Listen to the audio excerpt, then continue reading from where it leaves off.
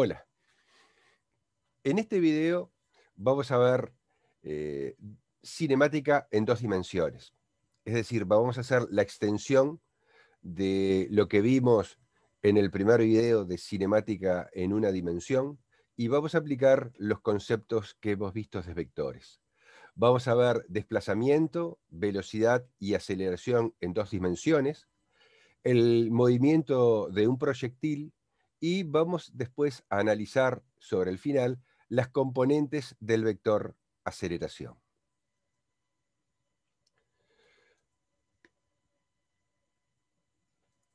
Bueno, en el movimiento en una dimensión, la dirección y el sentido de una cantidad vectorial como la velocidad o la aceleración puede ser tomada en cuenta al especificar que la cantidad sea positiva o negativa.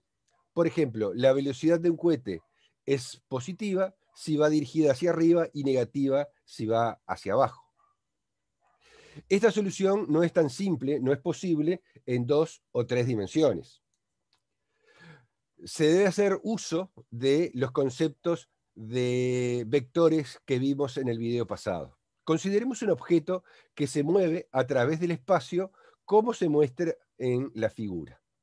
Entonces tenemos que el, el, móvil, el cuerpo, que lo podemos modelar como una partícula, eh, inicialmente, en el instante t sub i, se encuentra en el punto P, que está dado eh, a través del vector posición r sub i, que va desde el origen hasta el punto P donde está situado mi cuerpo o mi partícula.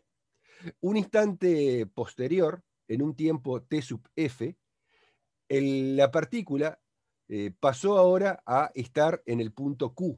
Ese punto Q, eh, que es la posición en el instante tf, está determinado por el vector r sub f, el vector posición de Q, que va también desde el origen hasta el punto Q. El diagrama vectorial de la figura muestra de que el vector posición final, es decir, este RF, es igual a la suma de el vector R sub i, que es el vector posición inicial, más el vector delta R, que es el desplazamiento. Es decir, podemos escribir esta expresión eh, vectorial.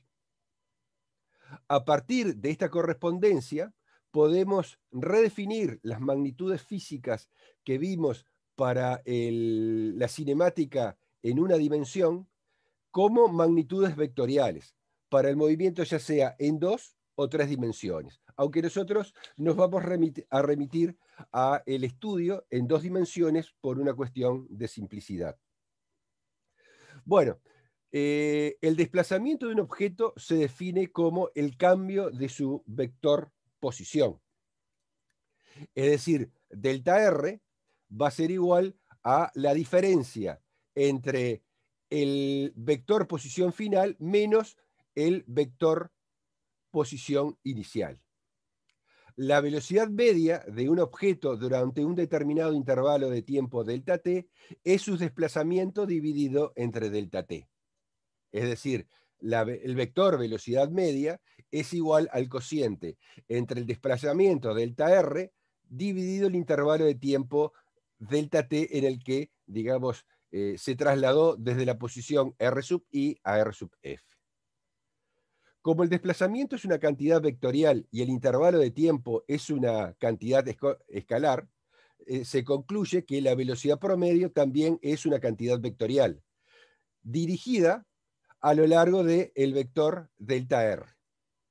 La velocidad instantánea la vamos a definir en forma similar a como la habíamos definido para el caso unidimensional. Entonces, la velocidad instantánea es el límite de la velocidad media cuando delta t tiende a cero. ¿sí? O sea que v es el límite cuando delta t tiende a cero de la velocidad media. Y esto significa que es el límite cuando delta t tiende a cero del cociente entre delta r y delta t. La dirección del vector velocidad instantánea es el determinado por la línea tangente a la trayectoria del objeto en el instante considerado. Y el sentido del vector velocidad va a estar dado por el sentido del movimiento. Obviamente, las unidades eh, de estas eh, velocidades, tanto la velocidad media como la velocidad instantánea, a pesar de ser magnitudes vectoriales, en el sistema internacional son también metros sobre segundo. Bueno, y ahora damos un paso más y vamos a definir lo que es la aceleración media de un objeto, que durante un determinado intervalo de tiempo delta t experimenta un cambio de velocidad delta v. Entonces, la aceleración media va a ser el cociente entre el incremento de la velocidad delta v dividido delta t este incremento de velocidad delta V, como todos los incrementos, los calculamos como la diferencia, para este caso, de la velocidad final menos la velocidad inicial dividido delta T. Eh, a menos que se diga lo contrario, cuando nosotros hablamos de velocidad a secas, eh, nos estamos refiriendo a velocidad instantánea. O sea que este B sub f es la velocidad instantánea en el instante T sub f. Y esta B sub i es la velocidad instantánea en el instante T sub i. Bueno, ahora vamos a pasar a definir lo que es la aceleración instantánea también en una forma muy similar a la que habíamos hecho en un movimiento unidimensional. Y la aceleración instantánea es el límite de la aceleración media cuando delta t tiende a cero. ¿Sí? Es la misma definición. Ahora, digamos, eh, en vez de tener eh, un delta b eh, escalar, en este caso tenemos un delta b, digamos, perdón, un, delta b en una dimensión, ahora tenemos un delta b vectorial que puede estar en dos o en tres dimensiones. Atención, es importante reconocer que un objeto puede acelerar de diferentes formas. Una de las maneras es de que la magnitud, es decir, el módulo del vector velocidad, a lo que se denomina la rapidez, puede cambiar en el tiempo. Es decir, se modifica la rapidez en el tiempo. Otra posibilidad es que la dirección del vector velocidad cambie con el tiempo, a pesar incluso de que la rapidez sea constante.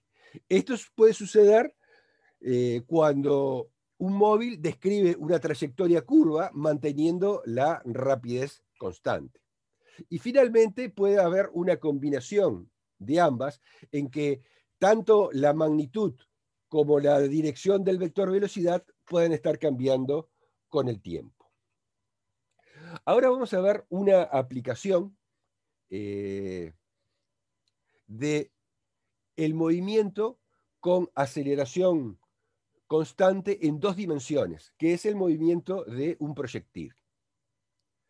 Eh, veremos, digamos, eh, el caso bidimensional en que los objetos se mueven en dos direcciones, una dirección que llamaremos X y otra dirección de, eh, que llamaremos Y, de manera simultánea bajo una aceleración constante.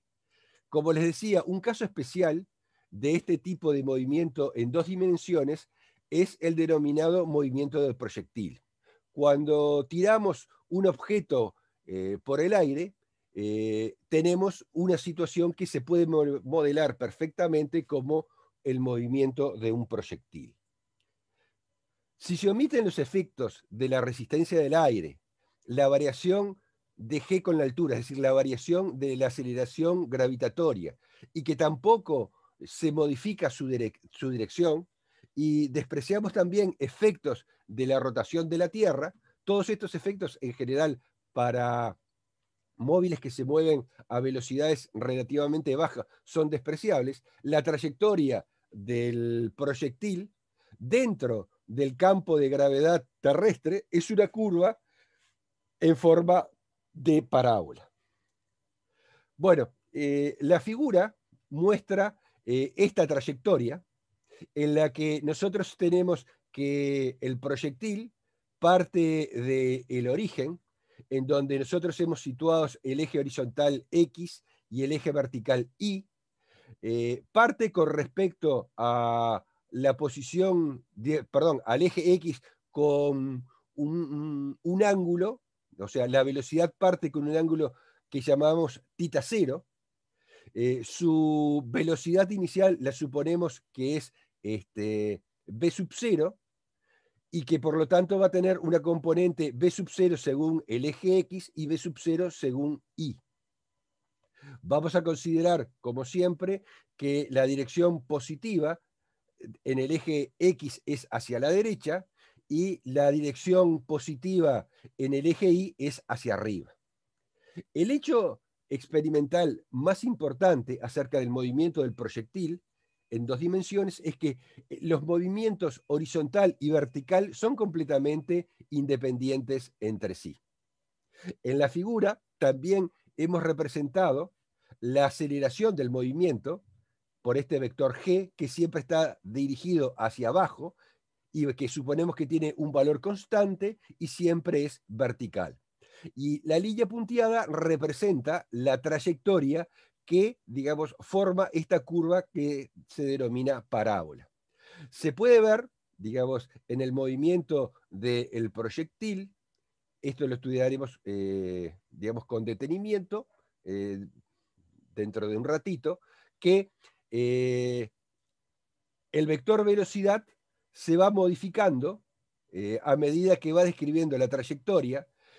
hay un punto donde alcanza la altura máxima en que la velocidad solamente tiene componente eh, horizontal y que, digamos, eh, a partir de ese punto de altura máxima, en donde la velocidad en el sentido vertical, la componente vertical de la velocidad se anula, cambia de signo.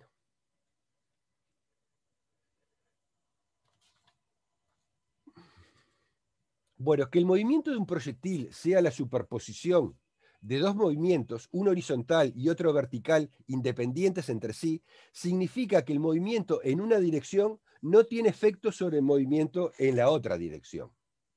Si una pelota la lanzamos en una trayectoria parabólica, el movimiento de la dirección, perdón, el movimiento en la dirección Y será muy semejante al de una pelota que lancemos en una trayectoria recta hacia arriba, bajo la influencia de la gravedad.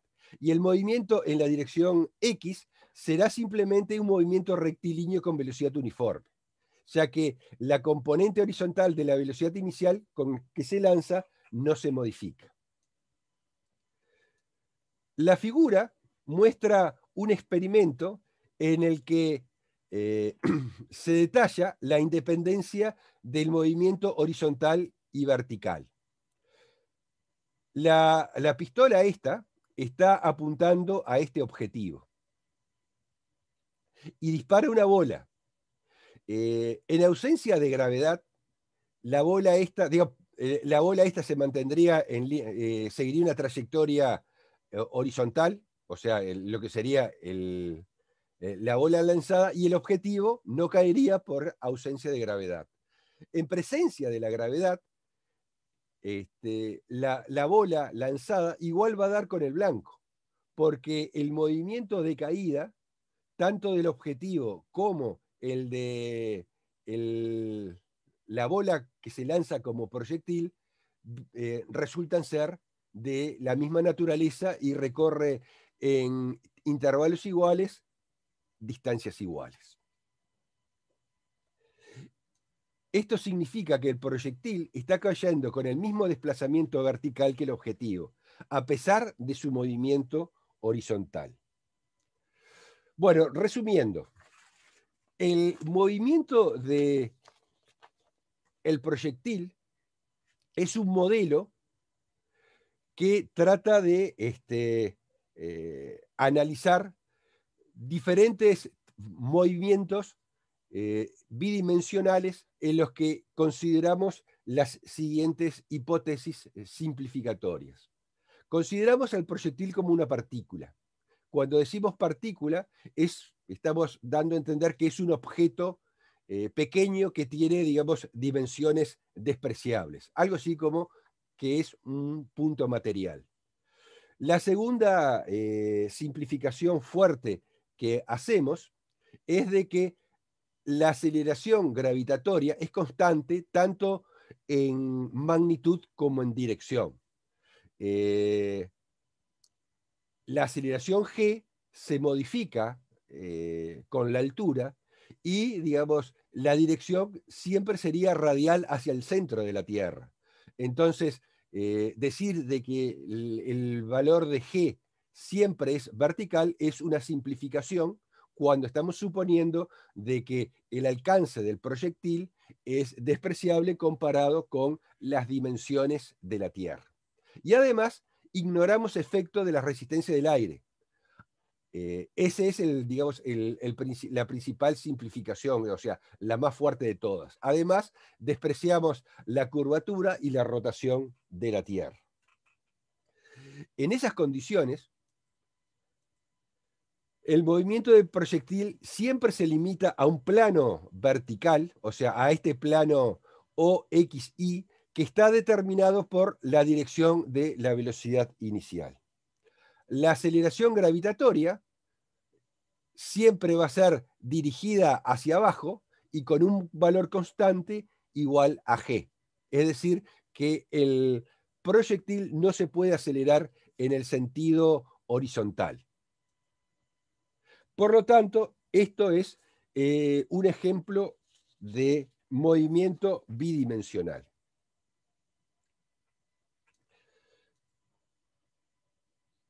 Eh, para hacer el análisis de el movimiento del proyectil, vamos a tratar a los dos eh, movimientos según las coordenadas X e Y en forma separada.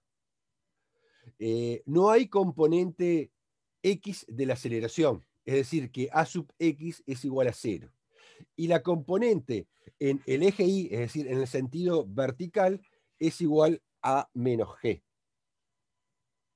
Por lo tanto, el movimiento del proyectil va a ser la combinación de un movimiento horizontal con velocidad constante y un movimiento vertical con aceleración constante.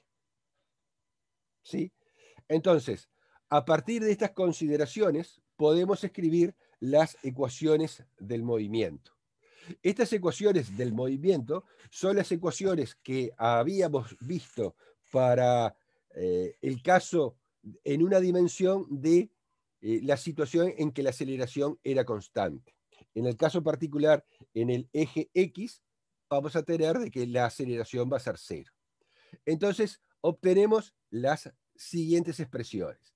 Según el eje X, la aceleración es igual a cero. La velocidad se va a mantener constante, o sea, v sub x, la componente x de la velocidad, siempre va a, valer el mismo valor que la velocidad inicial según ese eje. Y la posición va a estar dada por eh, la posición inicial horizontal más la componente horizontal de la velocidad multiplicada por el tiempo. Eh, este v sub 0x lo podemos calcular a través del el ángulo de lanzamiento, que si lo llamamos, por ejemplo, alfa 0, el v sub 0x va a ser igual a la velocidad inicial por el coseno de alfa 0. En el eje eh, vertical, tengo que ahora la aceleración según I vale menos G. La componente de la velocidad vertical, es decir, según el eje Y, va a ser igual a la velocidad inicial menos G por T. En este caso, V sub 0 I eh, lo puedo determinar a través de V sub 0, el módulo de la, velocidad inicial, multiplicado por el seno de alfa 0, siendo alfa 0 el ángulo con que lo estoy eh, lanzando medido con respecto al eje horizontal en sentido antihorario. Y eh, la altura, es decir, la posición I, sería igual I sub 0 más B sub 0 I por T menos un medio de G por T cuadrado. Para el caso particular en el que yo coloco mi origen en el punto del lanzamiento, tanto x0 como y0 van a valer 0. Bueno, acá, digamos, tengo algunas de las características del el movimiento parabólico del modelo del proyectil. Como les decía, la componente horizontal siempre se mantiene constante para todos los instantes. En cambio, la componente vertical de la velocidad, B, este, sub i, se va modificando. Al principio, digamos, parte de un valor B sub 0i, va disminuyendo hasta que alcanza la altura máxima y luego, digamos, comienza, o sea, cambia de sentido. Eh, en el punto de altura máxima tenemos de que la componente eh, de la velocidad vertical vale cero, pero no la velocidad, y a partir del punto de altura máxima comienza a crecer eh, su módulo, pero teniendo sentido contrario.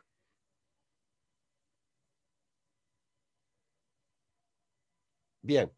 Eh, a partir, digamos, de las ecuaciones básicas que habíamos visto, podemos obtener otras expresiones que no las vamos a desarrollar en esta diapositiva.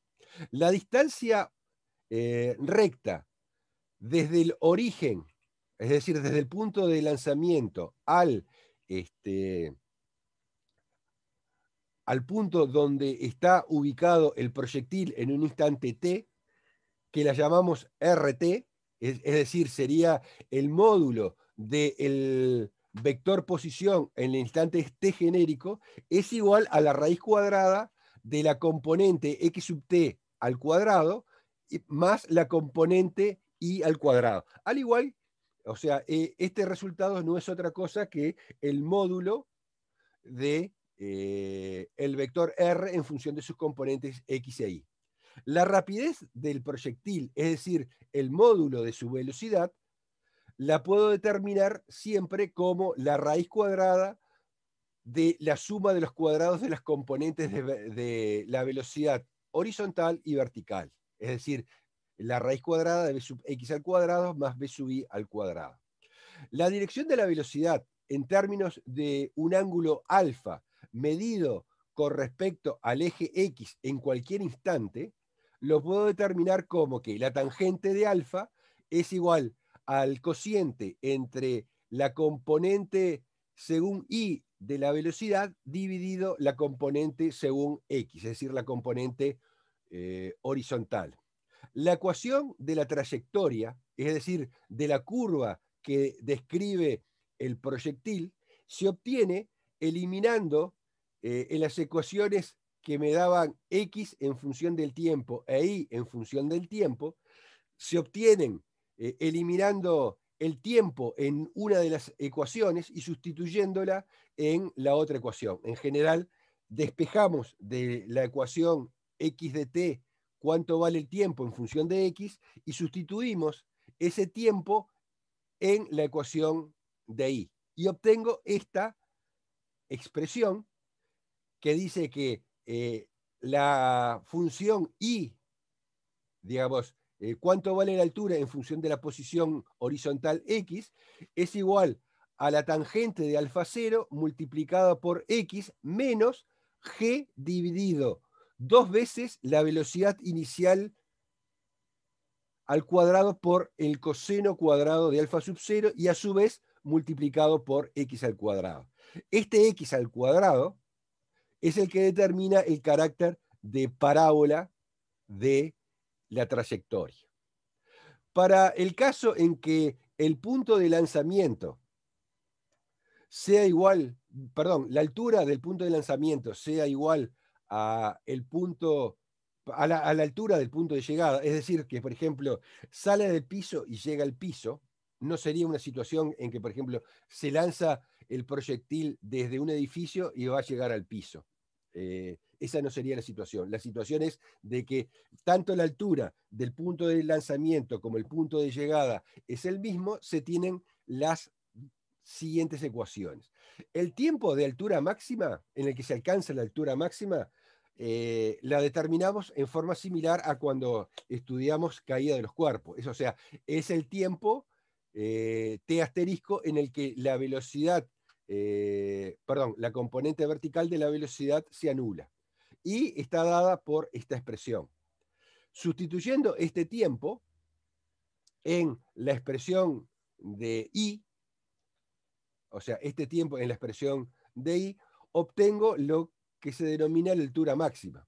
Y esa altura máxima es igual a b sub 0 cuadrado por el seno cuadrado de alfa sub 0 dividido 2g. El alcance, es decir, la distancia eh, horizontal entre eh, el punto de partida y el punto de llevada, que a veces lo simbolizamos como R, es igual a eh, o sea, lo obtenemos sustituyendo el valor de x para dos veces el tiempo en que se llega a la altura máxima. Eh, habíamos visto de que eh, en caída de los cuerpos, el tiempo que demora en alcanzar la altura máxima es el mismo tiempo que demora desde la altura máxima a llegar a la altura inicial. Por eso acá ponemos x de 2t. Sustituyendo obtenemos esta expresión. Y si nosotros, como pueden ver, el alcance, el alcance va a depender de la velocidad inicial y del ángulo con que estoy lanzando el proyectil. Si yo quiero saber con qué ángulo debo eh, lanzar el proyectil para que la, el alcance sea máximo, manteniendo la velocidad inicial, eso lo logro si el ángulo de lanzamiento inicial vale 45 grados. Fíjense en que en esta expresión, digamos, el, el valor máximo que puede tomar el seno eh, de cualquier ángulo es 1.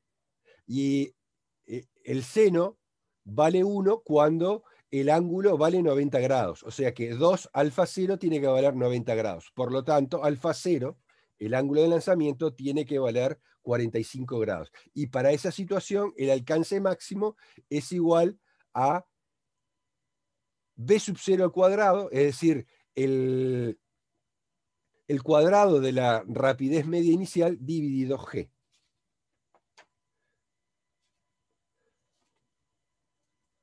Bueno, los hechos importantes del movimiento del proyectil se pueden resumir de la siguiente forma. Siempre que se omita la resistencia del aire, la componente horizontal de la velocidad x permanece constante porque no existe componente de aceleración eh, horizontal. La componente vertical de la aceleración siempre es igual al de la caída libre, que es igual a menos g. La componente vertical de la velocidad v sub i y el desplazamiento en la dirección y son idénticos a los de un cuerpo en caída libre. Y el movimiento del proyectil puede describirse como una superposición de dos movimientos independientes en las direcciones X e Y. Atención, en la altura máxima que alcanza el proyectil, solo se anula la componente vertical de la velocidad. La componente horizontal permanece invariable. Por lo tanto, no es cierto que en el punto de, altura máxima la velocidad se anula. Solamente se anula la componente vertical. La dirección, perdón, la aceleración en la dirección Y tampoco es cero en la parte superior de la trayectoria del proyectil, ya que eh, siempre vale G hacia abajo. Bien, Bueno, hasta ahora hemos visto el movimiento del proyectil, en el que un objeto se está moviendo con una velocidad eh, inicial y que solo se ve afectado por la aceleración de la gravedad en uno, digamos, en una dirección determinada. En el caso más general, eh, digamos, otros agentes pueden ocasionar aceleraciones como puede ser, digamos, la resistencia del aire, la fricción superficial o, digamos, el motor, digamos, de un determinado vehículo. Por lo tanto, pueden haber aceleraciones eh, tanto en el eje X como en el eje Y, eh, que actúen en forma simultánea. Cuando ambas componentes eh, son constantes, se pueden aplicar las ecuaciones de movimiento con movimiento rectilíneo con, digamos, este, con aceleración constante para cada una de las direcciones. Y entonces obtenemos este tipo, digamos, de eh, expresiones que ya las habíamos visto en cinemática en una dimensión, pero ahora, digamos, este, las estamos tratando como las componentes X e Y del movimiento en general. Entonces, eh, en dos dimensiones, si, digamos, eh, esto que está punteado acá representa la trayectoria, eh, en un instante cualquiera el vector velocidad va a ser tangente a la trayectoria, es decir, va a tener esta dirección y el sentido va a estar dado por el sentido del movimiento, es decir, se está trasladando hacia la derecha, por lo tanto, el vector va a tener que tener un sentido tal cuyo, digamos, componente horizontal también sea hacia la derecha. Y como decíamos, eh, el módulo de B, es decir, el valor de la rapidez en este punto, lo podemos calcular como la raíz cuadrada de el cuadrado de la componente según X más el cuadrado de la componente según Y. Y si quiero determinar eh, la dirección, es decir, cuánto forma este ángulo alfa, lo que hago es la tangente de alfa, es decir, la tangente de este, de este ángulo es igual al cateto opuesto sobre el cateto adyacente, es decir, B sub i sobre B sub x. Bueno, y para terminar, les quiero mostrar que, qué es lo que sucede, digamos, con las componentes de la aceleración. Dado un vector cualquiera, siempre puedo descomponer ese vector en dos direcciones cualesquiera.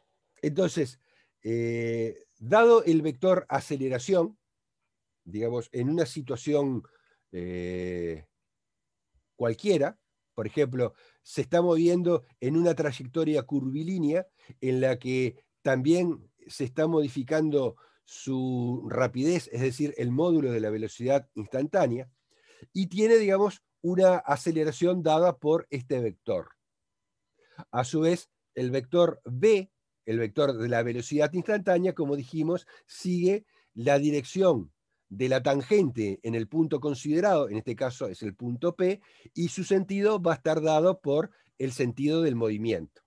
Entonces, lo que voy a hacer es descomponer a la aceleración en dos direcciones. Una dirección según la dirección de la velocidad, es decir, de la tangente. ¿Sí? A esa eh, componente de la aceleración la voy a llamar componente paralela a la trayectoria. Y otra componente que es la componente perpendicular. Bueno, ¿por qué puedo suponer, digamos, eh, para qué me sirve, qué conveniencia tengo con esta descomposición de la aceleración en estas dos componentes? Porque cada una de las componentes de la aceleración actúa en forma distinta con respecto a la velocidad. La componente paralela, ¿sí? esta componente, lo que produce son cambios en la rapidez de la partícula, es decir, cambios en el módulo de la velocidad instantánea. Mientras que la componente perpendicular, justamente por ser perpendicular, no modifica la rapidez, pero sí modifica la dirección de la partícula. Vamos a ver eh, algunos casos. Si la aceleración es paralela a la velocidad, como en este caso, la aceleración, entonces el efecto que produce es cambiar la rapidez, pero el sentido y la dirección permanecen constantes. En este otro caso, eh, si tengo que la aceleración es perpendicular a la velocidad, lo que voy a obtener es simplemente el cambio en la dirección. No se modifica su módulo. Entonces, eh, finalmente, en esta, digamos, eh, en esta última figura, presentamos eh, tres movimientos que tienen un comportamiento distinto en función del ángulo que forma la aceleración con respecto a la velocidad. En el caso en que la aceleración es perpendicular a la velocidad, solamente le modifica la dirección y no le modifica eh, su rapidez. Si la aceleración, digamos, eh, forma un ángulo con respecto a la velocidad menor a 90 grados, como se muestra en esta figura B, eh, el efecto va a ser, por un lado, modificar la dirección y por otro lado, modificar su módulo, el módulo de la velocidad, aumentándolo. En cambio, cuando el ángulo que forma eh, la velocidad con la aceleración es más de 90, es decir, tiene una componente de la aceleración en sentido contrario a la velocidad, no solamente le va a modificar la, eh, el módulo de la velocidad instantánea, es decir, la rapidez, perdón, no solamente le va a modificar la dirección, sino que también le va a disminuir la, este, la rapidez. Bueno, hasta aquí llegamos, nos vemos en un próximo video.